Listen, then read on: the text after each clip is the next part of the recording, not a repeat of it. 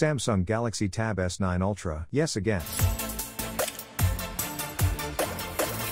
Hello guys, I hope you are all doing great. We are back. Today I am here with more information about the Samsung Galaxy Tab S9 devices thanks to the fact that they have been listed on Geekbench 6. It seems like the Galaxy Tab S9 series is likely to offer at least 4 entries, including the Tab S9, S9 Plus, S9 Ultra, and S9 FE or the lite version. The Galaxy Tab S9 with the model designation SMX716B is equipped with Qualcomm Snapdragon 8 Gen 2 for Galaxy chipset with the primary Cortex X3 processor clocked at 3.36 GHz and 8 GB RAM. The device achieved a remarkable single-core score of 1,929 points and an amazing multi-core score of 4,735 points and according to the listing, the tablet is operating on Android version 13, most likely with One UI 5.1 on top. Then the Galaxy Tab S9 Ultra with the model number SMX916B was able to get an even more amazing score of 2,054 points for its single-core performance and 5,426 points for its multi-core performance. The device operates on Android 13 with One UI 5.1 on top, and it has the same chipset and RAM combination as the Galaxy Tab S9 tablet. It is anticipated that the forthcoming Ultra model tablet would have a design that is analogous to that of its predecessor, complete with a 14.6-inch Super AMOLED display, an 11,200 mAh battery, and 45 watts charging capabilities along with boasting IP68 water and dust protection. In addition to the standard and Ultra tablets, Geekbench has seen the appearance of two additional Samsung devices, both of which are suspected of being the Galaxy Tab S9 FE or else the Lite. The first one has the model code SMX516B, and the second one has the code SMX616B. Both of these gadgets are operated by Android 13 and are powered by the Exynos 1380 SoC. The SMX516B, on the other hand, only has 6GB of RAM built in, while the SMX616B has 8GB and in addition to this, their scores differ. The SMX516B received a higher score, however, these are most likely pre-production devices, therefore it is recommended to wait for the retail models to evaluate their performance before making a decision. Well, it is not apparent whether these tablets are the Galaxy Tab S9 FE or the Tab S9 Lite because the Galaxy Tab S8 series from the previous year did not include either of these variants. And on the other hand, the Tab S7 lineup included a FE model, while the Tab S6 lineup included a light variety. Finally, in light of the aforementioned, it is common knowledge that Samsung's Galaxy Tab S9 lineup features a Plus variant with the model designation SMX716B. We have not yet seen it on Geekbench, but it is likely that the Snapdragon 8 Gen 2 for Galaxy will be at the helm of the Galaxy Tab S9 Plus, just like its vanilla and Ultra counterparts. With that said, let me end the discussion for today. Drop your thoughts in the comments section below as well. If you guys are new here, be sure to subscribe. The tech chat is over and I am out.